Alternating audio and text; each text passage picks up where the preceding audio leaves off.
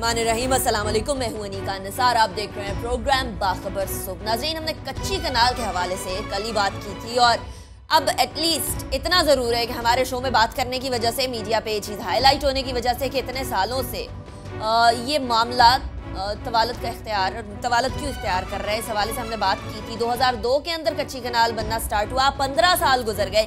اب at last اس پر کوئی action کی بات ہو رہی ہے کہ جن لوگوں نے اس کو ڈیلے کیا یا جو لوگ اس غفلت کا ارتکاب کیا جنہوں نے۔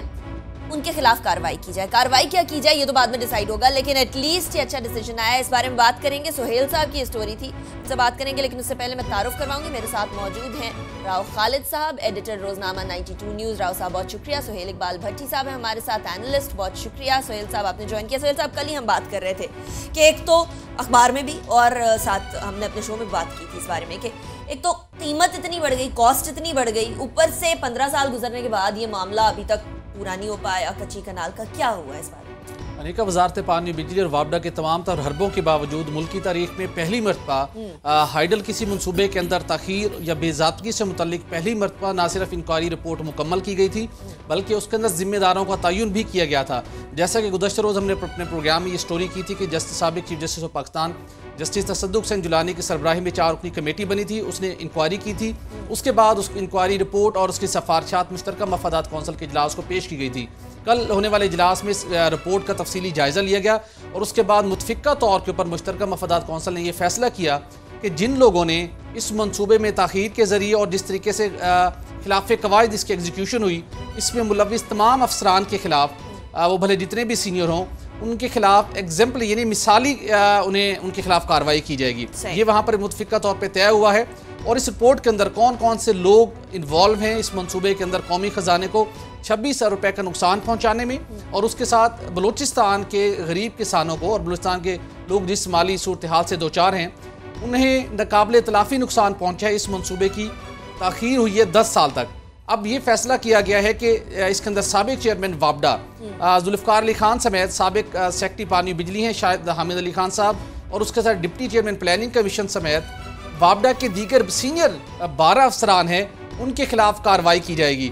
اور اس اس رپورٹ کے اندر یہ بھی بتایا گیا تھا کہ اس منصوبے کو کس طریقے سے فیزیبلٹی مکمل کیے بغیر اور جو اس وقت کے فینینشل ڈسپلن کو فالو کرنا تھا اس کے برخلاف اس کے لیے پیسے جاری کیے جاتے رہے، پروجیکٹ کی ایگزیکیوشن غلط ہوئی کنٹریکٹ بھی غلط طریقے سے وارڈ کیا گیا۔ الٹیمیٹلی اس کا پھر وہی کام ہوا کہ اس منصوبے نے دو ہزار سات میں جو مکمل ہونا تھا، وہ آج دو ہزار سترہ میں بھی تاحال مکمل نہیں ہوا۔ لیکن انٹرسٹنگ چیز اس کے اندر یہ ضرور ہے سی سی اے نے ایک بڑا اچھا انیشیٹو لیا۔ ایک سال لگا اس کام کو اس کی انکوائری کے اوپر، اس کو اوپر اپنی سفارشات کو تیار کرنے کے اندر۔ بیس اجلاس ہوئے اس انکوائری کمیٹی کے۔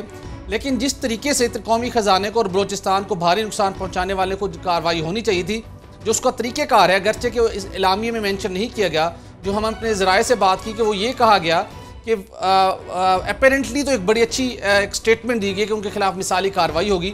لیکن وزیراعظم نواز شریف صاحب نے یہ اختیار ان تمام افسران کے خلاف کاروائی کا اختیار کس کو دیا ہے؟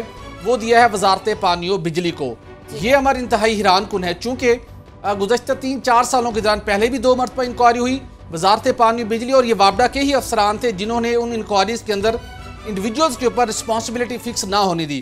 اور اب بھی وزارت پانی و بجلی کی اور کچھ بیوروکریٹس کی کوشش تھی جیسے کہ ہم نے اپنے گزشتہ روز کے پروگرام میں بتایا تھا کہ سابق سیکٹری خزانہ وقار مسعود صاحب نے بھرپور کوشش کی اپنے اضافی نوٹ کے ذریعے کہ کسی بھی شخص کے خلاف کوئی کاروائی نہ ہو۔ مطلب ہے اس کا خمیازہ اگر ذمہ دار ہیں اس تاخیر کا عوام پہ ملبہ ڈال دیا جائے۔ اس طریقے سے جب اس کی لاگت میں اضافہ ہوا ہے وہ لاگت ایک لاگت میں اضافہ ایک سزا ہوئی عوام تو سزا بھگت رہے ہیں۔ قومی خزانے سے ٹیکس دہندگان کی رقم سے پیسے نکلے گی لیکن وزارت پانی و بجلی اور پلاننگ کمیشن اور وابڈا کے سمیت تمام لوگوں کی یہ اب بھی کوشش ہے کہ کسی افسر کے خلاف کوئی مؤثر کاروائی نہ ہو۔ اور اب یہ بڑا امتحان ہے وزارت پانی بجلی کے لیے اور دیکھنا ہوگا کہ سی سی آئی اس کو کیسے اس کی مانیٹرنگ کرتی ہے کہ وہ وزارت پانی بجلی آج تک جنہوں نے کسی افسر کے خلاف کاروائی نہیں کی اب وہ اتنے بڑے بڑے ناموں کے خلاف اپنے ہی سابق سیکٹری کے خلاف ڈپٹی چیئرمین پلاننگ کمیشن کے خلاف اور اس کے ساتھ سابق چیئرمین وابڈا وہ خود بڑی باثر شخصیت ہیں اور وابڈا کے سینئر بار افسران کے خلاف کس طریقے سے کاروائی کریں گے؟ اب اس بات کے اوپر کڑی نظر رکھنا ٹھیک ہے راز صاحب یہ یہ فیصلہ اپنی مثال آپ ہے کیونکہ جس طرح سہیل صاحب نے بتایا کہ ابھی تک اس سے پہلے کسی ہائل پروجیکٹ کے بارے میں کوئی اس طرح کی کاروائی کے بارے میں بات نہیں کی گئی۔ تو اس کے اندر جو مثالی کاروائی یا ایگزامپلری پنشمنٹ کی بات کی گئی ہے یہ ایگزامپلری پنشمنٹ ہوگی کیا؟ کیونکہ اس سے پہلے کوئی پریسیڈنٹ ملتا نہیں ہے۔ اور اگر آپ نے کمپلیٹلی یہ ملبہ ڈال دی ہے وزارت پانی و بجلی پر جس نے جس طرح بتا رہے ہیں کہ پہلے کوئی کاروائی نہیں کی، پہلے کاروائی کرنی ہوتی انٹرنلی وہ تمام کام کر چکے ہوتے۔ انہی کے اوپر ڈال رہے ہیں کہ دیکھیے آپ اپنے اندرونی معاملات ہیں، ان کو سیٹل کریے، کس طریقے سے کرنا ہے، تو پھر مثالی پنشمنٹ یا مثالی سزا تو نہ مل سکے۔ پہلے تو اتنا عرصہ اس کو لگ گیا سارا، اس جگہ پہ پہنچتے پہنچتے پوری کاروائی کو اور بلاخر ایک اچھی کاوش ہے مشترکہ مفادات کونسل کے پارٹ پہ کہ وہاں پہ فیصلہ کیا گیا کہ یہ جو لوگ بھی ذمہ دار ہیں، کیونکہ یہ قومی منصوبہ تھا گرین بلوچستان یا سبز انقلاب کی جب ہم بات کرتے ہیں بلوچستان میں، تو یہ اس کے کہہ لے کہ ایک شہر کی حیثیت رکھتا ہے، اس کے لیے ریڑھ کی ہڈی کی حیثیت رکھتا ہے۔ تو اس منصوبے کو اتنا ڈیلے کرنا، یہ ایک قومی جرم کے طور پہ اس کو لیا جانا چاہیے تھا۔ میرا خیال ہے کہ اسی طرح سے اس کو لیا گیا۔ لیکن یہ بات درست ہے کہ ہمارے ہاں جو اب تک ہم نے دیکھا ہے، نیب ہو ایف آئی اے ہو، پولیس کا تو خیر ذکر ہی کیا۔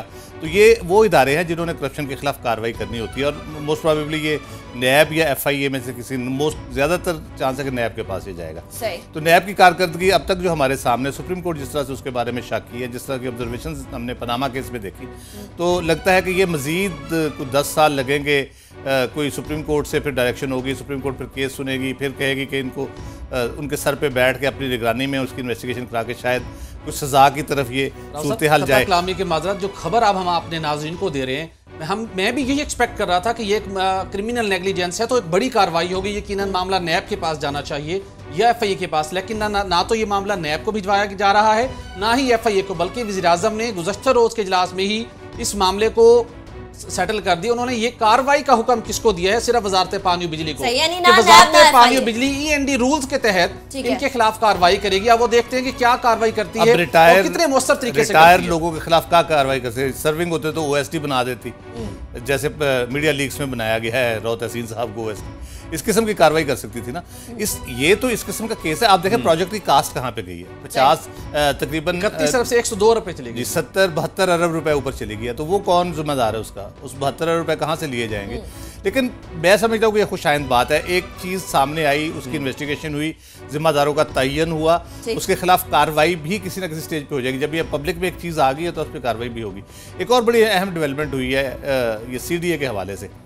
سی ڈی اے نے ایک پلاٹ الاٹ کیا تھا پرویز مشرف کے دور میں کامران لاشاری اس وقت چیئرمین ہوتے تھے یہاں پہ سی ڈی اے کے۔ اس وقت یہ ون کانسٹیٹیوشن ایونیو حیات ایجنسی کا بڑا پچھلے دنوں کورٹ میں بھی کیس چلتا رہا۔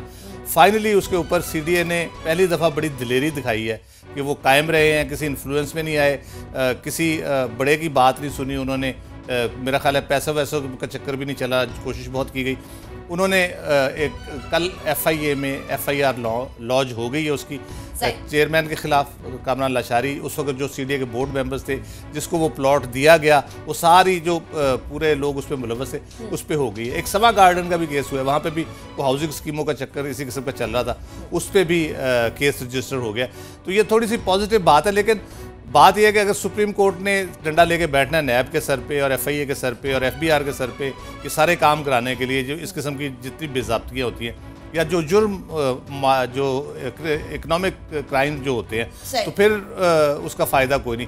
یہ تو خود سے ایک نظام ایسا ہونا چاہیے کہ نیب خود بخود ایکٹیویٹ ہو ایف آئی اے خود بخود ایکٹیویٹ ہو اس کو پریشر نہ دینا پڑے کہ اس کا کیس کرو اس کا کیس کرو۔ وہ ان سارے پریشر سے بالا تر ہو گئے سارے کام آپ نے سی ڈی کی بہادری کا بات کی سی ڈی نے خود بہادری کا مظاہرہ کیا یہ پیچھے کو ڈنڈا لے کے بیٹھا ہوا تھا۔ وہ بھی بتا دیں ناظرین کو۔ وہ ڈنڈا وزارت داخلہ ڈائریکٹلی اس کو ڈیل کر رہی ہے اس کیس کو۔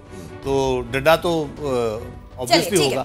ٹھیک ہے اتنا ضرور ہے کہ ایٹ لیسٹ کام ہونا سٹارٹ ہوا لیکن یہ کچی کنال کے معاملے کے اوپر فوری طور پر عمل درآمد ہونا چاہیے۔ کچی کنال سترہ سال گزر گئے اب آگے دس سال بھی گزر جائیں گے تو اس کے بعد اس کی لاگت اور بڑھتی چلی جائے گی لیکن امیڈیٹ ایکشن ہونا چاہیے اور پتہ نہیں امیڈیٹ ایکشن ہوگا یا نہیں ہوگا۔ وزارت پانی و بجلی وزارت پانی اور بجلی کی بات کر رہے ہیں تو اگلے ٹاپک کی طرف بڑھتے ہیں اور نیپرا کی بات کریں گے۔ یہ وہ ریگولیٹری ادارہ ہے جس کی وجہ سے باقی جو چار ادارے ہیں ان کو بھی حکومت کے انڈر لانے کی کوشش کی گئی تھی۔ نیپرا کو وزارت پانی اور بجلی کے انڈر لانے کی اس لیے کوشش کی جا رہی تھی کیونکہ بہت سارے ایسے پروجیکٹس ہیں جو کہ جن کا ٹیرف بڑھانا ہے لیکن نیپرا اس کے اوپر ریگولیشن رکھتی ہے ریگولیٹ کرتے کرتے ذرا روک دیتی ہے۔ اکثر اوقات قدغن لگ جاتی ہے خواجہ آصف صاحب کی منسٹری کے اوپر کہ کتنا ٹیرف بڑھانا ہے۔ اب کیا ہوا ہے؟ کیا وہ ان کی خود مختاری کے اوپر قدغن لگ گئی سوہیل صاحب؟ انیکا پاور سیکٹر کا شعبہ ہے ہماری اکانومی کے اندر یا دنیا کے اندر کوئی بھی شعبہ اس کے اندر انرجی اور پھر پاور سیکٹر سب سے پرکشش ہوتا ہے ہر لحاظ سے۔ صحیح۔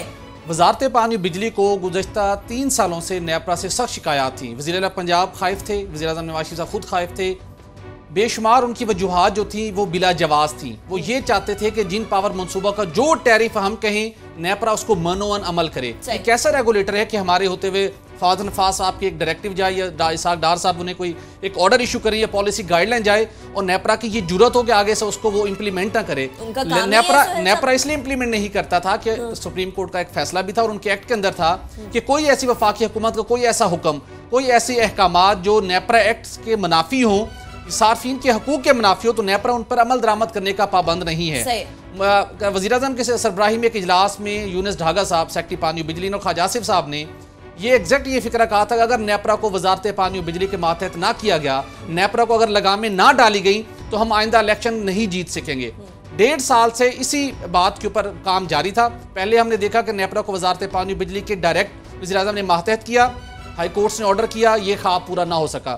اب وفاقی حکومت نے ایک پائیدار اس کا حل نکالا ہے کہ کیسے نیپرا کے پر کاٹنے ہیں کیسے ان سے ہر حکم اپنا منوانا ہے۔ اس سلسلے کے لیے ایک مشترکہ مفادات کونسل کے اجلاس کو اسمبلی بھیجی گئی۔ کل وہ اسمبلی انتہائی خاموشی کے ساتھ منظور کر لی گئی ہے۔ وہ نیپرا جو گزشتہ انیس سال سے پارلیمنٹ کے منظور شدہ ایکٹ کے مطابق جس خود مختاری کے تحت کام کر رہا تھا اس کی خود مختاری گزشتہ روز ختم کرنے کی منظوری دے دی گئی ہے۔ اب کیا کیا گیا ہے؟ مشترکہ مفادات کونسل نے پہلے مرلے میں یہ کہا ہے کہ اس سے جو نیپرا ٹیرف مقرر کرتا ہے بجلی کے صارفین کا وہ ٹیرف مقرر کرنے کا اختیار نیپرا سے واپس لے لیا گیا ہے۔ یہ وہ پوائنٹ تھا جس کے اوپر خواجہ آصف صاحب کہتے تھے کہ ہم بجلی صارفین سے اضافی وصولی نہیں کر پاتے۔ یہ وہ پوائنٹ تھا جب خواجہ آصف صاحب کہتے تھے کہ جو بجلی چوری ہے اس چوری کا تقریباً ایک سو ساٹھ روپے کا سالانہ کا بوجھ ہے بجلی چوری اور لاسز کا۔ وہ کہتے تھے کہ ہم صارفین سے ریکور کرنا چاہتے ہیں جو بل ادا کرنے والے صارفین ہیں۔ نیپرا رکاوٹ ہے نیپرا نہیں مانتا۔ اب یہ ایک سو ساٹھ روپے اس نئے پلان کے مطابق بجلی کے صارفین سے وصول کیے جائیں گے۔ اس کے بعد نیپرا اپنی خود مختاری کو انٹیکٹ رکھنے کے لیے مختلف منصوبوں کے اندر اپنی سوورنٹی کو منوانے کے لیے اور فیئر طریقے سے چیزوں کی ڈٹرمنیشن کے لیے رولز بناتا تھا۔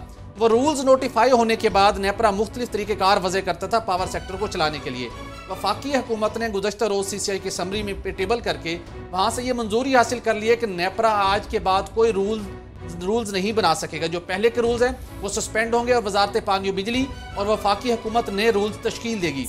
اس کے ساتھ اب یہ کیا گیا ہے کہ جو نیشنل الیکٹریسٹی پالیسی اور پلان بنایا جائے گا نیپرا کو جو حکم دیا جائے گا کہ آپ جو آپ تقسیم کار کمپنیوں کے جو آپ ٹیرف کا ٹیرف کے کمپوننٹ ہوں گے ڈفرینٹ ریٹس چارجز اور جو اخراجات ہوتے ہیں اس کو ان بلڈ کریں جو وزارت پانی بجلی کہے گی نیپرا عمل درآمد کرے گی۔ جو سرچارج یہ لیوی وفاقی حکومت بجلی صارفین پر لگانا چاہے گی نیپرا اس کے اوپر سر تسلیم خم کرے گی اس کے اوپر کوئی چون چرا نہیں ہوگی انٹرسٹنگلی گزشتہ روز کے اجلاس کے اندر جب یہ سارا معاملہ ہو رہا تھا ذرائع یہ کہتے ہیں کہ وزیر اعلیٰ پنجاب شہباز شریف صاحب خوب برسے نیپرا کے اوپر انہوں نے کہا کہ بجلی کے شعبے کے اندر جو اس وقت بحران ہے اس کی نیپرا ذمہ دار ہے۔ بجلی کے پاور منصوبوں کے اندر سب سے بڑی رکاوٹ نیپرا ہے۔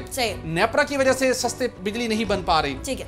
وزیر اعلیٰ سندھ نے بھی ان کا ساتھ دیا لیکن آپ سن کر حیران ہوں گی اس میٹنگ کے اندر نیپرا کے وائس چیئرمین سیف اللہ چٹھا صاحب موجود تھے۔ انہوں نے ایک لفظ نہیں بولا۔ سیف اللہ چٹھا صاحب کون ہیں؟ یہ ابھی حال ہی میں بلوچستان کے چیف سیکٹری کے طور پر ریٹائر ہوئے ہیں۔ اس سے پہلے سابق سیکٹری پانی و بجلی تھے۔ وزیر اعلیٰ پنجاب شہباز شریف کی سفارش کے اوپر چند روز قبل گزشتہ مہینے میں وزیر اعلیٰ نواز شریف نے ان کی تقرری کی تھی بطور ممبر ممبر نیپرا۔ وزیر اعلیٰ پنجاب شہباز شریف کی انتہائی با اعتماد بیوروکریٹ ہمیشہ یہ سمجھے جاتے رہے ہیں۔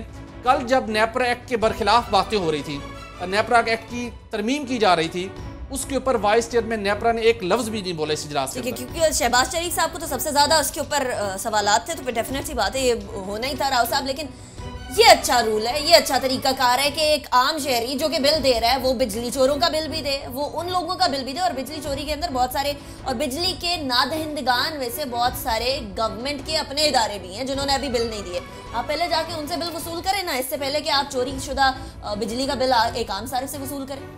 یہ دیکھیں ایک اس میں جو جب آئی پی پیز کا پاکستان میں دور شروع ہوا وہ بینزیر بھٹو کی پہلی دوسری گورنمنٹ تھی نائنٹی فور نائنٹی فائیو کی پرائیویٹ پاور بورڈ بنا اور اس پہ آئی پی پیز کا سر اس وقت پاور پرچیز ایگریمنٹ کا جو فارمولہ طے ہوا تھا وہ ریگریسو تھا۔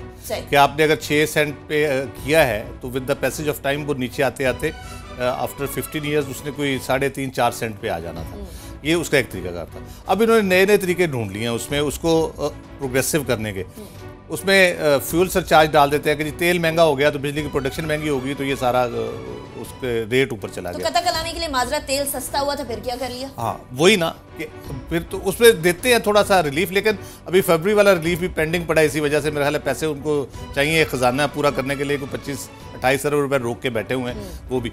لیکن طریقہ جو بنیادی طریقہ کار اس کا یہی ہے کیونکہ اس وقت بڑا ہنگامہ مچا جب پاکستان میں چھ سینٹ پہ بات ہو رہی تھی اس وقت بنگلہ دیش چاہ ہی نہیں رہا تھا لگانا یہ پرائیویٹ پاور جو پلانٹس ہیں جی۔ تو ان کو چار سینٹ پہ آفر ہو رہی تھی۔ تو یہاں پہ بڑا یہ اپوزیشن نے نواز شریف صاحب لیڈ کر رہے تھے جس کو۔ اور کرپشن کے چارجز جی چھ سینٹ پہ کر رہے ہیں بنگلہ دیش میں چار سینٹ پہ ہو رہا ہے یہ ساری چیزیں۔ اب ایگزیکٹلی پھر وہی صورتحال ہے۔ بنگلہ دیش میں تو بڑے سستے وہ بجلی لگ رہی ہے۔ اور وہ ہم جو انوائرمنٹ فرینڈلی پلانٹس کی بات کی سپر کرٹیکل ٹیکنالوجی کے پلانٹ وہاں پہ لگ رہے ہیں۔ تو آپ دوسرے پلانٹ لگا رہے ہیں جس کی اوور آل کاسٹ بھی زیادہ ہے انوائرمنٹل کاسٹ بھی بہت زیادہ ہے۔ دس گیارہ روپے کا آپ ٹیرف لے رہے ہیں وہاں پہ تو چھ روپے کا ٹیرف جا رہا ہے۔ اور وہ ریگریسو ہے۔ With the passage of time وہ نیچے جائے گا۔ آپ یہ سارا کچھ کر کے کرنا کیا چاہ رہے ہیں؟ اس سے وہ چیزیں ظاہر ہوتی ہیں جو بار بار کہا جاتا ہے کہ ان میں کوئی گڑبڑ ہے جو اس قسم کے منصوبے اتنی ہیسٹ میں کیے جا رہے ہیں۔ جس طرح سے ان کا ٹیرف جو ہے اس کی ڈٹرمنیشن کے اوپر لڑائی ہو رہی ہے۔ شہباز شریف صاحب نے پبلک جلسے میں سال پہلے حویلی بہادر شاہ کا میرے خیال سنگ بنیاد جب رکھا جا رہا تھا اس کا پاور پلانٹ کا وہاں پہ خواجہ آصف کی موجودگی میں انہوں نے نیپرا پہ اور واٹر پاور منسٹری پہ چڑھائی کی تھی۔ اب یہ پورا اختیار اپنے ہاتھ میں لے لیں گے۔ آپ کو پتا ہوگا ابھی آپ سٹوری ڈسکس کرنا چاہ رہے تھے کچھ دن پہلے کہ انہوں نے پینڈنگ کی ہوئی ہے واٹر اینڈ پاور منسٹری نے نوٹیفکیشن جو ہے نیپرا نے جو ٹیرف ڈیٹرمنٹ کیا ہوا تھا۔ وہ اب ان کے اختیار میں آ گیا وہ پاور کو بھی ریوائز اس کے ٹیرف کو بھی ریوائز کریں گے اور دوبارہ سے نئے سرے سے اس کا نوٹیفائی کریں گے۔ تو بوجھ کس نے اٹھانا ہے؟ بیچارے غریب عوام بجلی ان کو ملتی نہیں۔ بل ان کو جی بھر کے یہ دیتے ہیں کہ ابھی انکا ایک پوائنٹ شباز شریف صاحب نے گزشتہ جو بڑا پوائنٹ اٹھایا کہ نیپرا ہر سائٹ کے اوپر ٹیرف مقرر کرتا ہے۔ انہوں نے کہا جی پنجاب حکومت کا کمال یہ کہ بھی حالی انہوں نے غیر ملکی سرمایہ کاروں کے ساتھ سولر کے منصوبوں کے لیے ٹیرف چھ سینٹ کے اوپر انہیں راضی کی ہے نیپرا تو یہ کام نہیں کر پایا۔ نیپرا ذمہ دار ہے بجلی کے بھاری نرخوں کی وجہ سے۔ لیکن شباز شریف صاحب کو ہم یہ بتاتے جائیں جو پنجاب حکومت کا Quaid Azam solar power park ہے اس کا ٹیرف کتنا ہے؟ وہ چودہ سینٹ ہے۔ پاکستان کا مہنگا ترین اس کا ٹیرف ہے چودہ سینٹ فی یونٹ۔ اور وہ ٹیرف خواجہ آصف صاحب نے سوری شباشیف صاحب نے جب نیپرا میں سابق ممبر پنجاب موجود تھے خواجہ نعیم صاحب خواجہ آصف صاحب کے قریبی عزیز ہیں ان کے ذریعے سے چودہ سینٹ فی یونٹ لیا تھا جو کہ دنیا کا ہائیسٹ ٹیرف تھا۔ اور سستی ترین بجلی پیدا ہوتی ہے سولر سے۔ اور یہ بھکی پہ بھی چھ کا چھ سکس پوائنٹ تھری کا ٹیرف دیا ہے۔ انہوں نے اناؤنس سیون پوائنٹ تھری کا کیا چلیے، Quaid Azam solar power plant کی بات کر رہے ہیں تو اس سے مجھے قائد اعظم کے وہ بات یاد آ گئی کہ جب کوئی مہمان آیا کرتا تھا اور اس کو چائے یا بسکٹ سرو کرنے کی بات آتی تھی تو وہ کہتے تھے کہ کیا گھر سے چائے پی کر نہیں آئے؟ صرف پانی کا گلاس دیا جاتا تھا، لیکن اب ملک کی حالت ذرا دیکھ لیجیے۔ اور اسی حوالے سے اگلا ٹاپک ہے، ملک کی حالت یہ ہے کہ اگلے بجٹ میں وزیر اعظم ہاؤس کے مہمانوں کی خاطر توازوں کے لیے کروڑوں روپے کا بجٹ مانگا جا رہا ہے۔ یہ کوئی عام بات نہیں، کوئی چھوٹی بات نہیں۔ پہلے وزیر اعظم صاحب کے آنے سے پہلے ان کے باتھ روم کی تزین و آرائش کے لیے اچھے خاصے پیسے مانگے گئے تھے۔ پھر ہم دیکھتے ہیں کہ وزیر اعظم صاحب جب سٹاک ایکسچینج میں جاتے ہیں تو وہ سٹاک ایکسچینج کی بات کرنے کے بعد، ناشتے کی بات کرتے ہیں۔ واشنگٹن میں جب جاتے ہیں تو یہ تو کسی نے آنکھوں دیکھا، حال بتایا کہ جی وہاں دیگچیوں کی دیگچیاں خواتین لے کر جا رہی ہیں کہ کھانے کے بڑے شوقین ہیں وزیر اعظم صاحب۔ وزیر اعظم صاحب کے مہمان ہیں اور کروڑوں لگ جائیں ایک غریب ملک ہے، کوئی امیر ملک نہیں ہے۔ کھانے کا شوق ہونا چاہیے اور خاص طور پہ جس ماشاءاللہ سے فیملی سے وہ کھاتی پیتی فیملی سے تعلق رکھتے ہیں اور شوق بھی ان کے بہت اچھے اب تو ان کی سنیں، کافی جو ہارٹ کا ایشوز تھا کولیسٹرول لیول کا ایشو تھا، کافی عرصے سے وہ بہت زیادہ مرغن کھانے نہیں کھا رہے۔ لیکن ابھی پرائم منسٹر ہاؤس کا بل دیکھ کے یہ لگتا ہے کہ ایسے لوگ وہاں پہ موجود ہیں جو مرغن کھانے بھی کھاتے ہیں اور خوب قومی خزانے پہ بوجھ بنے ہوئے ہیں، مسلسل۔ یہ قائد اعظم کے مقلد ہونے کی یہ دعوے دار جماعت ہے قائد اعظم ثانی بھی ان کے جو ان کے جو ورکرز وغیرہ ہیں یا جو ان کے سپورٹرز ہیں ان کو کہتے ہیں ان کی ڈیٹ آف برتھ بھی پچیس دسمبر ہے جو قائد اعظم کی تھی۔ تو وہ ان چیزوں میں تو کر لیتے ہیں جہاں پہ خرچہ نہیں ان کا جیب سے کچھ خرچ نہیں ہو رہا۔ جہاں پہ جیب سے خرچ ہونے کی بات آتی ہے وہاں پہ قومی خزانے پہ بوجھ ڈالنا شروع کر دیا جاتا ہے۔ اب یہ ساڑھے نو کروڑ روپے ایک سال کی جو پرائم منسٹر ہاؤس کی ٹوٹل کہہ لے کہ کھانے پینے کی جو ضروریات ہے اس کے لیے۔ ساڑھے نو کروڑ؟ ساڑھے جی تقریباً یہ ڈھائی لاکھ روپیہ پر ڈے بنتا ہے۔ کہ ڈھائی لاکھ کا روز وہاں پہ توازوں کے لیے جس میں کھانا چائے بسکٹ جو بھی ایکٹیویٹی ہوتی ہے وہ ہوتی ہے۔ انٹرنیشنل ڈگریٹیز آتی ہیں اس وقت ایک بینکوٹ وغیرہ ہوتا ہے وہ پریزیڈنٹ ہاؤس میں بھی ہوتا ہے پرائم منسٹر ہاؤس میں بھی ہوتا ہے۔ اس پہ تو ایک جسٹیفائڈ ہے کہ آپ کے مہمان آئے ہوئے ہیں۔ بین الاقوامی سطح کے بڑے لوگ کوئی پرائم منسٹر آیا ہے کوئی صدر آیا ہے وہ آپ سے ملنے کے لیے اس کے لیے آپ کریں۔ یہ باقی جو اخراجات ہیں کتنے لوگ وہاں پہ رہ رہے ہیں ان کے سٹاف کے لیے کیا یہ بن رہا ہے؟ کیا یہ صرف جو وہاں پہ جو عہدے دار عارضی طور پہ چار پانچ سال کے لیے آتے ہیں ان کے لیے یہ ساری تیاریاں کی جاتی ہیں۔ تو یہ بہت بڑا بجٹ ہے۔ کوئی غریب عوام غریب ملک کی حکومت جو ہے وہ اس قسم کی عیاشی کی متحمل نہیں ہو سکتی۔ ان کو تھوڑا سا ریویو کرنا چاہیے۔ کہتے ہیں ہم نے کٹ لگا دیا ہم بڑا میئرز لے رہے ہیں آسٹریلٹی میئرز لیے جا رہے ہیں۔ اور بار بار اناؤنس کیے جاتے ہیں۔ لیکن اپنا خرچہ ہر دفعہ بڑھا لیتے ہیں اپنے کھانے پینے کا خرچہ ہر دفعہ بڑھا لیتے ہیں۔ پرائم منسٹر ہاؤس کے اخراجات کا بھی بڑا دو تین سال سے ڈھول بجایا جا رہا ہے کہ جی بڑا خرچہ کم کر دیا۔ اب یہ تو پھر دوبارہ سے بڑھا رہے ہیں اس کو ریوائز کر رہے ہیں۔ تو کون ذمہ دار ہے اس کا؟ یہ عوام کی کچھ صورتحال پہ غور کرے۔ ان کے لیے کچھ دو چار روپے ان کے لیے بھی رکھ لیا کرے اس میں سے۔ خود ہی سارے نہ کھا جائیں۔ اچھا ایک جگہ پر ڈھائی لاکھ روپے پر دن خرچہ آ رہا ہے وزیر اعظم ہاؤس کے کھانے کا۔ دوسری جگہ پر چودہ ہزار پر مہینے پہ ایک غریب کو گزارا کرنا پڑتا ہے، یہ منیمم ویج ہے۔ اور اگر فورن ڈگنیٹریز کی بات کر لیں، سہیل صاحب، تو وہاں سنگاپور کے جو سربراہ ہیں، انہوں نے بھی تو نریندر مودی صاحب کو جس طریقے سے کھانا کھلایا تھا، ایک عام سے ریسٹورنٹ میں کھلایا تھا۔ یہاں غریب ملک ہے، تو غربت دکھائیں بھی لوگوں کو، بتائیں بھی کہ کتنے مسئلے مسائل ہیں۔ اس طرح تو لگتا ہے جیسے پتہ نہیں کسی شاہی محل میں آ گئے۔ آپ کی بات درست ہے کہ ہمیں جو ہماری معاشی صورتحال ہے اور جس طریقے سے ہم بات کرتے ہیں کہ ہم آسٹریلٹی میز لیں گے اور وزیر نواز شریف صاحب نے جب اقتدار سنبھالا تھا، خصوصی طور کے اوپر انہوں نے یہ وعدہ کیا تھا کہ پرائم منسٹر ہاؤس سے اخراجات کم کیے جائیں گے۔ جو ماضی کے اندر جس قسم کی یہاں پر فضول خرچی ہوتی رہی اب نہیں ہوں گی اب انہیں میرے خیال میں اس بات پر عمل درآمد ہونا چاہیے۔ دو چیزیں ہیں ایک اگر جو عالمی مختلف وفود آتے ہیں چلیے ان کے لیے وہ بہت اوکیجنلی ہوتے ہیں۔ ڈے ٹو ڈے آپ ہم نہیں دیکھتے کوئی ایسی کوئی بڑی تقریب ہو رہی ہو۔ لیکن جو یومیہ ڈھائی لاکھ روپے سے زائد کا خرچہ ہے صرف خاطر توازوں کے حوالے سے اس کو یقیناً کم کیا جا سکتا ہے۔ دیکھے جائے تو بات صرف سالانہ ساڑھے نو کروڑ روپے کی ہے جہاں پر مختلف منصوبوں کے اندر اربوں روپے کی بات کرتے ہیں اور اربوں روپے کے منصوبے ہم تعمیر کر رہے ہوں۔ مجھے لگتا ہے کہ شاید پرائم منسٹر ہاؤس کے اندر بیٹھے ہوئے بابوؤں کو لگتا ہوگا کہ ہم بیٹھے بٹھائے ہم سترہ ارب روپے کی میٹرو کا منصوبہ لانچ کر دیتے ہیں۔ پچاس روپے کا منصوبہ ہم مکمل کر سکتے ہیں۔ مختلف منصوبوں میں اربوں روپے تاخیر کی وجہ سے نقصان ہو جاتے ہیں تو ساڑھے کروڑ روپے ان کے لیے شاید میٹر نہ کرتے ہوں۔ لیکن جب آپ کفایت شہری کی بات کرتے ہوں اور جن جن کو آپ فالو کرتے ہوں ان کے اصولوں کے اوپر بھی آپ کو گامزن ہونا چاہیے۔ تو اس کو میرے خیال میں اب جو انہوں نے جسٹیفیکیشن یہ دی ہے کہ افراد زر بڑھ گئی ہے، مہنگائی بڑھ گئی ہے، تو اس میں اضافہ کیا جائے؟ تو میرے خیال میں اس کو اضافہ کرنے کی بجائے اس میں تھوڑی سی کمی ہونی چاہیے۔ چلیے، یہ یہ قطرہ قطرہ دریا بناتا ہے اور یہ اگر ساڑھے نو کروڑ روپے صرف مہمانوں کی خاطر توازوں میں لگے گا، اس کو ذرا بچانا شروع کریں، اسی طرح کی کئی خرچے بچانا شروع کریں، تو بہت سارے ایسے پیسے ہیں جو کہ عوام کی طرف جا سکتے ہیں، جو کہ نہیں جا رہے اس اس وقت۔ ابھی ہم بریک کی طرف جائیں گے اور یہی ملک جو ساڑھے نو کروڑ روپے وزیر اعظم ہاؤس لگا رہا ہے مہمانوں کی خاطر توازوں پہ، وہ قرضہ کہاں کہاں سے لے رہے ہیں اور کس طریقے سے اپنا بجٹ پورا کرنے کی کوشش کر رہے ہیں، اس کے بارے میں بات کریں گے ایک بریک کے بعد۔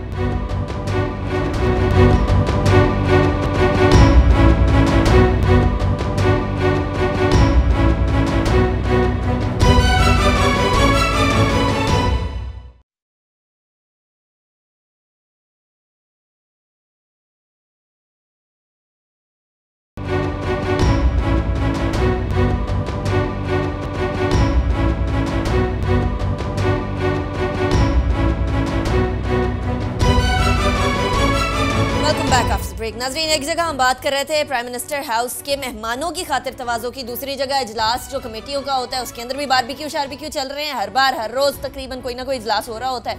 تو اس کے اندر بھی یہ کام چل رہا ہے۔ دوسری طرف ہمارے یہاں قرضہ لینے کی سپیڈ میں بھی اضافہ ہوتا چلا جا رہا ہے۔ نجی بینکوں سے قرضہ لیا جا رہا ہے، باہر سے قرضہ لیا جا رہا ہے اور یہ قرضہ اس لیے لیا جا رہا ہے۔ آنے والا بجٹ ہے۔ اور اس کے علاوہ خسارہ بھی بڑھتا چلا جا رہا ہے، چاہے وہ جو کرنٹ ڈیفیسٹ کی بات کر لیں یا پھر امپورٹ کے ڈیفیسٹ کی بات کر لیں سہیل صاحب بڑھتی چلی جا رہی ہیں مسئلے مسائل۔ اب خرچہ دیکھیں تو لگتا ہے کافی شہانہ ملک ہے، دوسری طرف قرضہ دیکھیں تو لگتا ہے بہت غریب ہے۔ نکاح حکومت کی جانب سے تو ملک کی معیشت کے مستحکم ہونے کے دعوے ختم نہیں ہوتے، لیکن اسٹیٹ بینک آف پاکستان کی رپورٹ کے مطابق مسلم لیگ نون کی حکومت نے اب تک پاکستان انویسٹمنٹ بانڈ کے ذریعے جو نجی بینکوں اور مختلف قومی مالیاتی اداروں سے جو قرض حاصل کیا ہے وہ قرض ہے چار ہزار دو سو چھہتر ارب روپے۔ یہ مسلم لیگ نون کی حکومت یہ قرض حاصل کر چکی ہے۔ اور رواں سوری گزشتہ ایک سال کے دوران ایک اشاریہ ایک ٹریلین روپیز اس مد میں حاصل کیے گئے۔ ہیں اور اصل جس کے اوپر پریشانی کی بات یہ ہے کہ اسٹیٹ بینک پاکستان نے جو مختلف اوقات کے اندر جو انٹرسٹ ریٹ مقرر کرتا ہے یہ جس کنڈیشنز کے اوپر لانگ ٹرم بنیادوں کے اوپر یہ قرض حاصل کیے گئے ہیں تین سے دس سالوں کے لیے جو اسٹیٹ بینک کا انٹرسٹ ریٹ ہے وہ اس وقت سنگل ڈیجٹ کے اندر ہے چھ سے سات فیصد تقریباً ہے جو ہم مختلف بینکوں سے اگر کوئی قرض حاصل کرتے ہیں۔ لیکن حکومت نے پاکستان انویسٹمنٹ بانڈ جو جن کنڈیشنز کے اوپر جاری کیے ہیں اور جو اس کے اوپر ہم ڈیٹ سروسنگ کا پے کر رہے ہیں وہ ڈبل ڈیجٹ میں ہے۔ یعنی دس فیصد سے زیادہ ہے تقریباً بارہ سے چودہ فیصد کے درمیان ہے۔ یعنی بھاری مارک اپ ہے اس کے اوپر جو ہم قرض قرض حاصل کر چکے ہیں اور اسٹیٹ بینک آف پاکستان کے مطابق ہی رواں مالی سال کے دوران رواں مالی سال کے ابتدائی آٹھ ماہ کے دوران تقریباً ان حاصل کے قرضوں کے اوپر آٹھ سو ارب روپے ہم ڈیٹ سروسنگ کی مد میں ادا کر چکے ہیں۔ اور رواں مالی سال کے اختتام کے اوپر مزید چار سو ارب روپے مختلف نجی بینکوں کو اور قومی مالیاتی اداروں کو ڈیٹ سروسنگ کی مد میں ادا کریں گے۔ یہ ایک بڑا بوجھ ہے قومی خزانے کے اوپر بھی اور اس کے ساتھ ساتھ ملکی معاشرت کو جب استحکام لانے کی بات کرتے ہیں اس تناظر کے اندر بھی کتنا بھاری قرض لیا گیا ہے۔ جب مسلم لیگ نون کی حکومت چلی جائے گی تو اس کے بعد آنے یا ان کی حکومت آئے جو بھی حکومت آئے گی انہیں بھی اس کا خمیازہ بھگتنا پڑے گا اور یہ بھاری جو مارک اپ ہے وہ ہمیں اس کی ادائیگی کا سلسلہ جاری رہے گا۔ اس کے ساتھ جب ایک جانب ہم اتنا بھاری قرض اٹھا چکے ہیں ہائر مارک اپ ریٹ کے اوپر، اسی تناظر میں اور اسی وقت آئی ایم ایف نے ایک رپورٹ جاری کی ہے جس کے اندر وارننگ دی گئی ہے انٹیمیٹ کیا گیا ہے۔ پاکستان سمیت ان چند بڑے آئل امپورٹ کرنے کرنے والے ممالک کو آئی ایم ایف نے یہ پروجیکشن دی ہے کہ رواں سال کے دوران یعنی دسمبر دو ہزار سترہ تک خام تیل کی قیمتوں میں تقریباً تیس فیصد تک اضافے کا امکان ہے اور پاکستان جیسے دیگر ممالک جن کا جو امپورٹ کرتے ہیں کروڈ آئل ان کے امپورٹ بل میں تیس فیصد تک اضافہ ہو جائے گا۔ اس تناظر میں اگر ہم پاکستان کی بات کریں گزشتہ تین سے تین سالوں کے دوران عالمی مارکیٹ کے اندر خام تیل کی قیمتوں میں کمی ہوئی جس کی وجہ سے ہمارا امپورٹ بل کافی کم ہوا۔ لیگ نون کی حکومت کو اس کا کافی ایڈوانٹیج ملا کہ آپ نے پیٹرولی مصنوعات کی قیمتوں میں آپ کو اضافہ نہیں کرنا پڑا بلکہ جتنا ریلیف ملنا تھا آپ نے وہ بھی پاس آن نہیں کیا اور آپ نے ریونیو بھی کمایا اور مہنگائی کو بھی کسی حد تک کنٹرول کیے رکھا چونکہ قیمتیں نہیں بڑھ رہی تھی لیکن اب یہ وارن کیا گیا ہے کہ تیس فیصد امپورٹ بل بڑھے گا یعنی پاکستان کے اوپر رواں سال کے اندر پاکستان کو خام تیل کی درامت کے اوپر ساڑھے تین ارب ڈالر اضافی ادا کرنا ہوں گے۔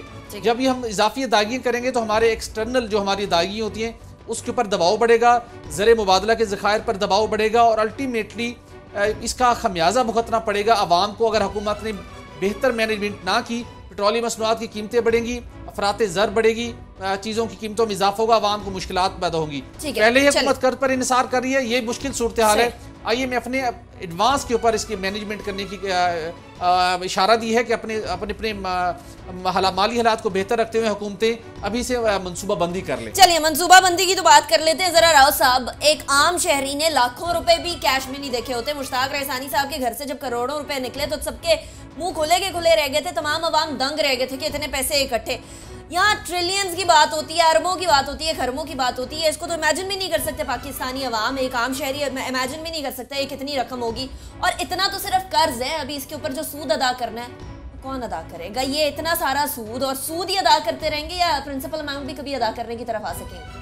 عوام اربوں خربوں کی باتیں سنتے ہیں یا پھر ان کو الٹیمیٹلی بھگتنا انہیں کو ہے۔ پے کرنے کے لیے تو عوام کے جیب پہ ڈاکہ ڈالا جاتا ہے۔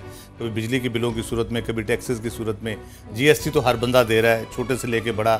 کوئی چیز بھی آپ لے رہے ہیں اس پہ سیونٹین پرسینٹ آپ جی ایس ٹی دے رہے ہیں۔ دیکھیں اس میں بڑے بیسک اکنامک رولز ہیں کہ آپ کی اگر جی ڈی پی ٹھیک جا رہی ہے گروتھ ٹھیک کر رہی ہے اس کی پرسنٹیج ٹھیک ہے تو یہ آپ قرض لینا اور قرض ادا کرنا کوئی اتنا بڑا ایشو نہیں ہوتا۔ جب آپ کی جی ڈی پی بھی سٹیگننٹ ہو تین چار کے اراؤنڈ آپ رہ رہے ہو آپ بہت زیادہ نہ کر رہے ہو جس میں ایگریکلچر مین سیکٹر ہے ٹیکسٹائل مین سیکٹر ہے آپ کی ٹیکسٹائل سیکٹر بھی اس طرح سے پرفارم نہیں کر رہا ایگریکلچر کا بھی بیڑا غرق ہوا پڑا ایکسٹرنل ڈیٹ ہے پھر دوسری جو اس میں دوسرا ایلیمنٹ جو آتا ہے وہ آپ کی جو ڈیٹ ٹو ایکسپورٹ ریشو ہے اس کے حساب سے آپ چلتے ہیں۔ ڈیٹ ٹو ایکسپورٹ ریشو پہ آپ سکسٹی ایٹ پرسینٹ پہ چلے گئے جو کہ سکسٹی پرسینٹ کے بعد ڈینجرس آپ کا سکسٹی پرسینٹ اوپر نہیں آپ جاتے۔ انٹرنل بارونگ میں جو ہم نے صورتحال دیکھی ہے جی ڈی پی کے حساب سے ہم بہت زیادہ غلط راستے پہ جا رہے ہیں اس وقت۔ ایک واحد راستہ جو یہ سوچ رہے ہیں، جو کہہ لے کہ فیوچر میں سال، دو سال میں ہو سکتا ہے، وہ سی پیک جب پوری طرح ایکٹیویٹ ہو جائے گا، آپ کی ایکسپورٹس بہت زیادہ بڑھیں گی۔ اور جی ڈی پی کی گروتھ کا بھی ایک چانس پایا جاتا ہے۔ تو اس پہ جا کے آپ اس کو کر سکتے ہیں۔ لیکن آپ ابھی ابھی سے اتنی ڈینجرس ایریا میں داخل ہو چکے ہیں اتنا زیادہ لون آپ لے چکے ہیں انٹرنل بارونگ ہو ایکسٹرنل بارونگ ہو کہ آپ کے اب ہاتھ پاؤں پھول گئے آپ کبھی ادھر بھاگتے ہیں کبھی ادھر بھاگتے ہیں کبھی چین کی منت کرتے ہیں ہمیں اتنے ساڑھے آٹھ سو ملین ڈالر دے دیں۔ کبھی آپ ایشین ڈیولپمنٹ کے پاس جاتے ہیں سات سو ملین ڈالر جی۔ ہمیں دے دیں۔ کبھی آپ کیپ کر دیتے ہیں فوریکس یہاں سے نہیں لینا انٹرنلی آپ بینکوں سے پیسے اٹھا کے تو کرنے کی کوشش کرتے ہیں ریمیٹنسز آپ کی نیچے جا رہی ہیں۔ تو اوورال اتنی خطرناک صورتحال یہ بن چکی ہے بہت سیریس ریپرکشنز اس کی ہوں گی اکانومی کے حوالے سے اور اوورال آپ کی انفلیشن بھی بڑھے گی اس سے۔ انفلیشن بڑھنے سے سیدھی سیدھی مہنگائی بڑھے گی۔ عام آدمی کا تو بیڑا ہی غرق ہو جائے گا اس میں۔ ٹھیک ہے۔ سب کچھ مہنگا ہو رہا ہے۔ لیکن ایک انسان کی جان سستی ہوتی جا رہی ہے، یہاں پاکستانی شہری کی جان سستی ہوتی جا رہی ہے اور زندہ رہنے کے لیے سب سے زیادہ ضروری یہ ہے کہ کسی شہری کو اس کا ایک حق، بنیادی حق، پانی صاف پانی پینے کا وہ حق دیا جائے۔ لیکن یہاں پانی کی قلت تیزی سے ہو رہی ہے اور ایسے میں واٹر پالیسی بنتی ہے۔ اور یہ پہلی واٹر پالیسی ہوتی ہے، سہیل صاحب، یہ پالیسیز تو ملک بننے کے ساتھ ہی بننا شروع ہو جانی چاہیے۔ سیکیورٹی پالیسی ہو فورن پالیسی واٹر پالیسی اب جا کے بننا انیکا بالکل اب جا کے بن رہی ہے اور اس کا پہلا ڈرافٹ جنوری دو ہزار سترہ میں فائنل کیا گیا تھا پاکستان کی نیشنل واٹر پالیسی کا۔ اس حقیقت سے قطع نظر کے کن مشکلات سے دوچار رہی ہیں ہماری زراعت بھی پانی کے لحاظ سے بھی۔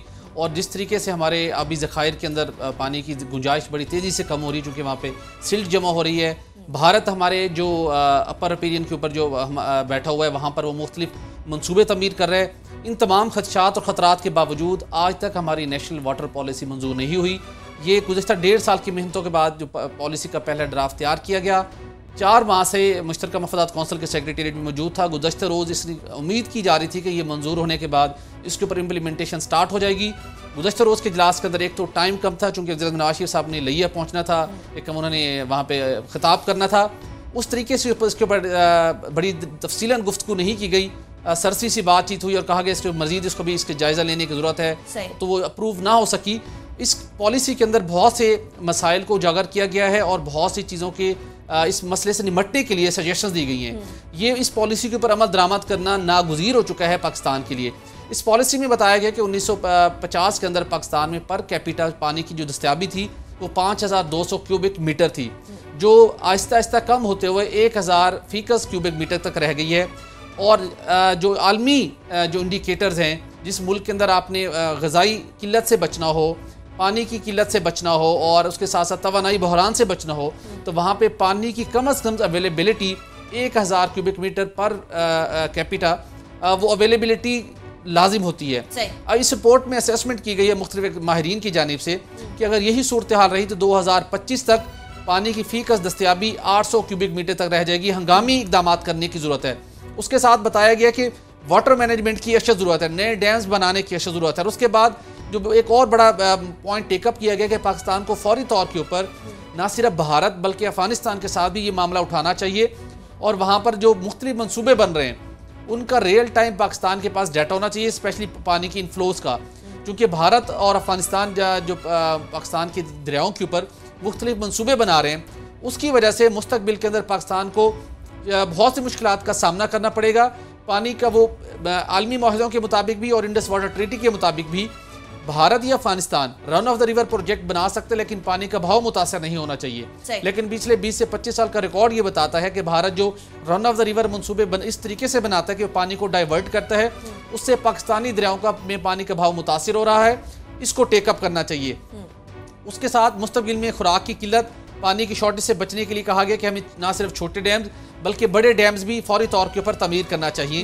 یہ وہ سفارشات ہیں جو گزشتہ چار ماہ سے نیشنل واٹر پالیسی کی شکل میں تیار ہو چکی ہیں، لیکن اس کے اوپر اس طریقے سے ابھی تک توجہ نہیں دی جا رہی۔ صحیح ہے، ٹھیک ہے، توجہ نہیں دی جا رہی۔ دوسری طرف ہم بھارت کے الزامات بھی دیکھ رہے ہیں اور اس کے بعد پھر ان کے دعوے بھی دیکھ رہے ہیں۔ بوند بوند کو درسائیں گے یہ نریندر مودی کہتے ہیں، کوئی اور نہیں کہتا، کوئی کوئی غیر ذمہ دار شخص نہیں کہتا، ان کے پرائم منسٹر کہتے ہیں۔ اور یہاں آج جا کے ہم واٹر پالیسی بنانے کے اوپر ہم نے ہم آمادہ ہوئے ہیں اس چیز کے اوپر لیکن واٹر پالیسی بنا لیں اور اس کی امپلیمنٹیشن نہ وہی بات ہو جاتی ہے راو صاحب کے کاغذ تو بڑے خوبصورت لگتے ہیں لیکن آن دا گراؤنڈ کچھ نہیں نظر آتا یہ یہی ہوا ہے پینے کے بارے میں پینے کے پانی کے بارے میں دو ہزار نو میں پیپلز پارٹی کے دور میں بڑی کمپریہنسو ایک پالیسی بنائی گئی اس پہ کیا عمل ہوا وہ seventy percent water borne diseases ہیں جس کو روکا جا سکتا ہے اس کے ذریعے۔ جو سیونٹی نہیں تو آپ کم از کم اس پہ تیس پرسینٹ بھی روک لیں تو بہت فرق پڑ جائے گا۔ ہیلتھ کے بجٹ پہ آپ کو ایک سو بیس سے تیس بلین تقریباً ایک سو بارہ بلین سالانہ آپ کو خرچ کرنا پڑتا ہے یہ واٹر بورن ڈیزیزز کے حوالے سے۔ لوگوں کی صحت پہ جو آپ دے رہے ہیں مختلف صوبے دے رہے ہیں یا مرکز دے رہا ہے یا باہر سے جو ایڈ آ رہی ہے تو اس میں بہت بچت ہو سکتی ہے۔ اس کو آپ نے امپلیمنٹ نہیں کیا۔ اور اب یہ دوسری جو صورتحال ہے اس پہ ایک بہت بنیادی چیز ذہن میں رکھنے کی ہے۔ ہمارے جتنے واٹر ریسورسز ہیں اس کی اوریجنیشن پاکستان کے اندر سے نہیں پاکستان کے باہر سے ہے۔ صحیح۔ ٹھیک ہے؟ دوسرا افغانستان کا ذکر کیا کابل کے اوپر ہمارا کوئی ایز سچ فارمل ایگریمنٹ ابھی نہیں ہے۔ رن آف دا ریور کے اوپر سارا۔ وہ اب ہمیں کرنا چاہیے اس میں فوری طور پہ کچھ نہ کچھ کرنا چاہیے۔ وہ کسی وقت بھی تو انڈیا بڑا فورس کر رہا ہے ان کو ڈیم شیپ بنانے کے لیے واٹر ریزروائر بنانے کے لیے۔ کام شروع اگر جی وہاں پہ۔ ہاں اگر ہم اس سے پہلے رن آف دا ریور والی جو کنڈیشن ہم نے انڈیا کے ساتھ طے کی ہوئی اگر وہاں پہ نہیں کرتے انڈس واٹر ٹریٹی کی طرح کی ٹریٹی نہیں کرتے تو کسی وقت بھی بڑا ڈیم بنا کے کابل جو ہے سندھ مین ایک دریا ہے جو ہمارا سب سے مین کہہ لے کہ جو ہمیں پرووائڈ کر رہا ہے پانی یا جیلم کسی حد تک۔ تو اس کے اوپر بھی اگر کابل کے اوپر وہ بن گیا تو ہمارے نیچے جو لوئر ریپیرین ہے اس کو بڑا نقصان ہوگا۔ جس میں پنجاب کو بہت سارا حصہ ہے۔ یہ ہم کچی کنال کی جو بات کرتے ہیں اس کے لیے پانی کا ایشو آپ کا آ جائے گا۔ تونسا براج وہیں سے جا رہا ہے تو یہ بنیادی طور پہ سے بہت اہم چیزیں ہیں۔ اس پہ فوری طور پہ کام کر پھر جو فلڈ آتے ہیں ہمارے جو پچھلے کچھ عرصے سے ہم ایک فنومینا دیکھ رہے ہیں۔ اچانک بارشیں ہوتی ہیں جو انوائرمنٹل امپیکٹ ایک آ رہا ہے ویدر چینج کے اوپر۔ وہ اس کو ٹیپ کرنے کے لیے ہمارے پاس کچھ نہیں ہم لوگ لٹ پٹ جاتے ہیں گھر تباہ ہو جاتے ہیں گھروں کے اندر پانی گھس جاتا ہے بیچارے آباد ہوتے ہیں تو ان کو سالہ سال لگ جاتے ہیں۔ ہم اس وہ ایک ایسی چیز ہے جو کالا باغ ڈیم کے لیے آپ بڑا اچھا آرگومنٹ ڈیولپ کر سکتے ہیں مر- مردان وغیرہ کے علاقے نشہرہ کے علاقے کے لیے کہ وہاں پہ کالا باغ ڈیم کی کتنی امپورٹنس ہے یہ فلڈ کو جو ان کو نقصان ہوتا ہے اس کو روکنے کے لیے اس کو ٹیپ کرنا چاہیے سارے ریسورسز کو ورنہ یہ قرضوں سے بھی زیادہ ویسے ویسے راؤ۔ صاحب کالا باغ ڈیم بنانے کے لیے آرگیومنٹ یا پھر لاجک کی ضرورت نہیں اس کے لیے صرف ول کی ضرورت ہے اور اگلے ٹاپک کی طرف بڑھیں گے۔ پانی کے حوالے سے اگر کام کرنا ہو بڑا آسان ہے لیکن اگلے ٹاپک کی طرف بڑھیں گے۔ اور جہاں کام کرنا ہو چاہے وہ معافی مانگنے کے حوالے سے ہو یا معافی دینے کے حوالے سے ہو وہ ہو جایا کرتا ہے۔ اب کی بات کر رہے تھے تھوڑی دیر پہلے سہیل صاحب اوگرا کے حال احوال بھی بتائیں۔ اوگرا میں کیا چل رہا ہے؟ اوگرا میں یہ چل رہا ہے کہ وزارت پیٹرولیم کے ماتحت ادارے hydrocarbon development institute of Pakistan نے اس کے ایک ریسرچ انجینئر تھے آ، عاصم جی آ، عاصم اس نے ایک ماہ قبل اوگرا کو ایک خط لکھا تھا اور اس کے اندر انہوں نے کہا تھا کہ پاکستان کے اندر جو ناقص اور غیر معیاری ایل پی جی سٹینڈرز کی تیاری ہو رہی ہے اور اس کی وجہ سے جو اموات ہوتی ہیں اس کے اوگرا بھی اس کا برابر کا ذمہ دار ہے۔ اوگرا اپنی ذمہ داری ادا نہیں کر رہا۔ اوگرا کو اپنی ذمہ داری ادا کرنا چاہیے۔ اوگرا کے آفیسر اس قابل نہیں ہیں کہ وہ اس مسئلے کو حل کر سکیں۔ وہ ایک بڑا چارج شیٹ پر مبنی خط تھا اور وزارت پیٹرولیم کے ماتحت ادارے کی جانب سے لکھا گیا تھا۔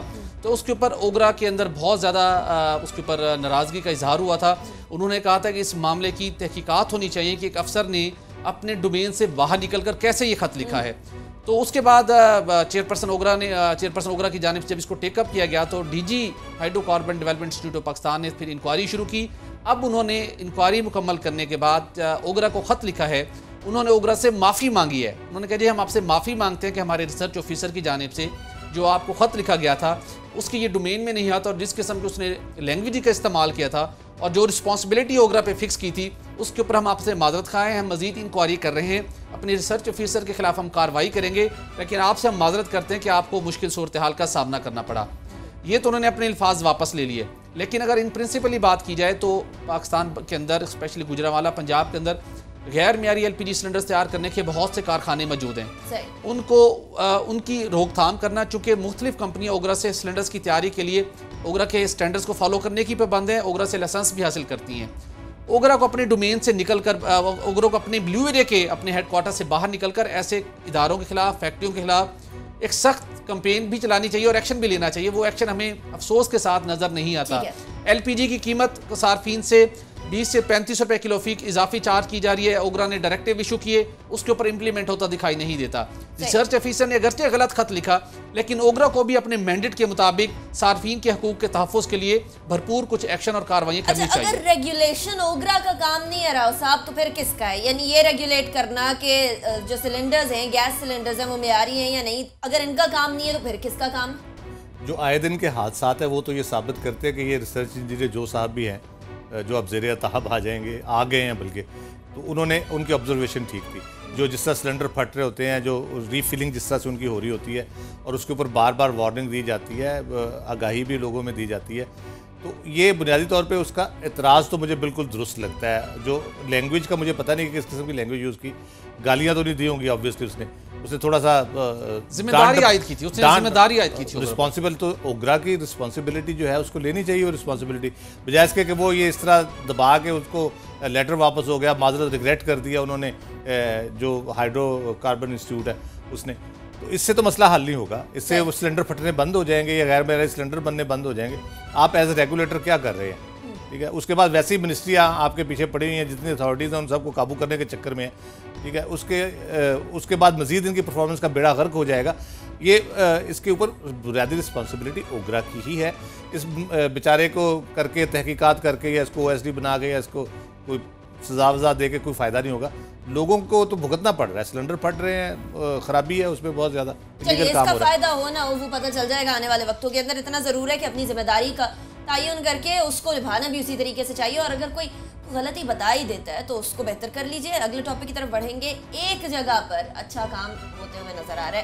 وہ آئی ٹی کی منسٹری ہے اور آئی ٹی کی منسٹری میں خواتین کو ایک انسینٹو دیا گیا ہے کہ وہ گھر بیٹھ کے کام کر سکتی ہیں۔ اور گھر بیٹھ کے کیوں کام کر سکتی ہیں؟ سویل صاحب، یہ بھی ذرا بتا دیں۔ اس لیے کہ دنیا بھر کے اندر پیپر ورک آفیسز میں آفیسز میں کم ہو رہا ہے اور پاکستان کے اندر بھی وزارت انفارمیشن ٹیکنالوجی نے جب مسلم نون کی حکومت آئی تو انہوں نے ای آفس سسٹم کے اوپر کام شروع کیا۔ وزارت انفارمیشن ٹیکنالوجی پاکستان کی واحد پہلی وہ وزارت ہے جس کے اندر ای آفس سسٹم کا سکسیسفلی امپلیمنٹیشن کر دی گئی ہے۔ وزیر مملکت انفارمیشن ٹیکنالوجی انوشر رحمان کی ہدایت کے اوپر ایک نوٹیفیکیشن جاری کر دیا گیا ہے، جس کے تحت وزارت انفارمیشن ٹیکنالوجی میں کام کرنے والی خواتین افسران ہفتے میں ایک روز تو وہ ہر صورت گھر بیٹھ کے کام کر سکتی ہیں۔ یعنی کہ ویسے دو چھٹیاں تو ویسے بھی انہیں ایک تیسری چھٹی بھی مل جائے گی، لیکن وہ آفس دفتر کے امور، دفتر گھر میں بیٹھتے ہوئے اس ای آفس سسٹم کے ذریعے بخوبی اور احسن طریقے کے ساتھ سر انجام دے سکیں گی۔ جو نوٹیفیکیشن جاری کیا گیا وزارت انفارمیشن ٹیکنالوجی کے مطابق، اس کا آبجیکٹیو یہ ہے کہ نہ صرف خواتین کو فیسلیٹیٹ کیا جائے، بلکہ جو آفس کے امور ہیں ان کو نمٹانے کے اندر بھی ایفیشنٹلی کام کیا جا سکے۔ لیکن اس نوٹیفیکیشن کے اندر خواتین افسران کو پابند کیا گیا ہے۔ اگر کوئی کانفرنسز ہونی ہے یا کوئی ایسی میٹنگ ہے جہاں پر ان کی شرکت ناگزیر ہے، تو پھر انہیں آفس اس دن بھی آفس آنا ان کے لیے لازم ہوگا۔ اگر ادروائز اگر کوئی ایسا کام ہے جو انہیں آفس میں آنے کے لازمی نہیں ہے تو گھر بیٹھ کے کر سکتی ہیں۔ یہ اچھا سسٹم ہے۔ خصوصاً اس وقت جب اکثر اوقات ہم، ہمارے دفاتر کے اندر افسران وقت سے پہلے گھر چلے جاتے ہیں اور اس کے بعد اگر کوئی آپ نے امور سر انجام دینا ہو تو آپ کے پاس کوئی چارہ، کوئی آپشن نہیں ہوتا کہ آپ دوبارہ آفس جائیں۔ اگر کوئی ایسا مستقبل کے اندر دیگر وزارتوں کے اندر بھی اگر یہ سسٹم امپلیمنٹ ہوتا ہے تو اگر آپ نے کوئی ایسا کام کرنا ہے جس کے اندر آپ آفس دوبارہ نہیں آ سکتے تو گھر بیٹھتے ہوئے کوئی فائل ورک کیے بغیر پیپر ورک یوز کیے بغیر ای آفس سسٹم کے ذریعے آپ کام کر سکتے ہیں۔ وسائل کا بھی وسائل کی بھی بچت ہے اور اس کے ساتھ ساتھ وقت کی بھی بچت ہے۔ اور جو امپلائز ہیں وہ بھی سے فیسلیٹیٹ ہو سکیں گے۔ مرال بہت ہائی ہوتا ہے اور یہ امریکہ میں یو کے میں یہ چیزیں لاگو ہیں کہ اگر کسی کو گھر سے بیٹھ کے کام کرنا ہوتا ہے تو وہ اپنے لیپ ٹاپ پر بیٹھ کر کام کر سکتا ہے اور یہ فیزیبل ہے آج کی دنیا میں۔ راؤ صاحب ایک مرال بوسٹ ہوتا ہے۔ امپلائی اگر امپلائر کو امپلائر اگر امپلائی کو اس طرح سے فیسلیٹیٹ کرے تو کام کرنے کا بھی زیادہ دل کرتا ہے۔ یہ انفارمیشن ٹیکنالوجی ایگزامپل بننے جا رہی ہے کہ پاکستان میں۔ میں ذاتی طور پہ بڑا اپریشیٹ کرتا ہوں اس سارے اسٹیپ کو۔ یہ میں نے پورا نوٹیفکیشن پڑھا بڑا انٹرسٹنگ ہے اور بڑے اچھے طریقے سے انہوں نے اس کو ایلیبریٹ کیا ہے، ضرورت کو، خواتین کی ضرورت کو، پھر جس طرح سے وہ پروسیس سارا ہوگا۔ لیکن اس میں سب سے بڑا امپورٹنٹ جو پارٹ ہے، وہ کتنے رسپانسبلی وہ اس چھٹی کو اویل کرتی ہیں، جو خواتین بھی رہتی ہیں یہ چھٹی۔ ہمارے ہاں مسئلہ یہ ہے کہ ہم دفتر میں بیٹھے ہوئے بھی بہت زیادہ انفیشینٹ ہوتے ہیں۔ ہم بہت زیادہ گپوں میں وقت ضائع کرتے ہیں لنچ کے لیے نکلتے ہیں تو ڈیڑھ ڈیڑھ گھنٹہ ہم لنچ پہ لگا دیتے ہیں۔ تو بہت زیادہ وقت ہم ضائع کرتے ہیں ٹائم پہ پہنچتے نہیں دفتر۔ تو یہ گھر سے اگر کام کریں گے تو وہ بہت یہ جتنی سہولت دی جاتی ہے، ہم اس کو مس یوز کرنے میں بہت ماہر ہیں ایز اے نیشن تو اس سہولت کا فائدہ پوری طرح سے اٹھانا چاہیے اور پوری ایفیشنسی سے اس کام کو کرنا چاہیے تاکہ دوسروں کے لیے ایک ایگزامپل سیٹ کرے. آئی ٹی جس طرح یہ نوٹیفکیشن کر کے انہوں نے کیا ہے اسی طرح سے وہ خواتین جو یہ چھٹی اویل کریں وہ کام کر کے ایگزامپل سیٹ کرے تاکہ باقی جگہ پہ بھی اس کو امپلیمنٹ کیا جائے. اور یہ زیادہ بہتر نو ڈاؤٹ اس میں بڑی ایک اچھا ہو جاتا ہے کہ گھر خاتون گھر کا بھی اپنا ساتھ کام سنبھال لیے ساتھ اپنا دفتر کا کام بھی ساتھ ایک اپنی بڑی کنڈیوسیو قسم کی گھر کی انوائرمنٹ میں کر صحیح ٹھیک ہے اگر آنے والے وقتوں کے اندر یہ باقی جگہوں پر بھی امپلیمنٹ ہو تو اس سے صرف اور صرف خواتین کو فائدہ نہیں ہوگا ایک خاتون کی حیثیت سے ایک بہت اچھا قدم محسوس ہوتا ہے اگر واقعی میں اس کو رسپانسبلی استعمال کیا جائے لیکن اس سے فیول کی بچت بھی ہوگی۔ ملک کی قومی خزانے کے اندر جو امپورٹ کیا جاتا ہے فیول جو آنے جانے کا ٹائم ہے وہ بھی بچے گا۔ ایفیشنسی بھی انکریز ہوگی اور ساتھ ہی ساتھ ہماری آنے والی جو نسلیں ہیں جو خواتین گھر میں سنبھال رہی ہوتی ہیں وہ بھی بہتر طریقے سے ان کو سنبھال پائیں گی۔ تو دس از اے پازیٹیو اسٹیپ اگر اس کو اچھے طریقے سے استعمال کیا جائے۔ ہمارے آج کے شو سے اتنا ہے۔ ہمیں فیڈ بیک ضرور دیجیے گا۔ باخبر صبح کے نام سے فیس بک ٹویٹر پر موجود ہے اپنا بہت خیال رکھیے۔ پاکستان اور پاکستانیوں کے لیے دعا گو رہیے گا۔ اللہ حافظ و ناصر۔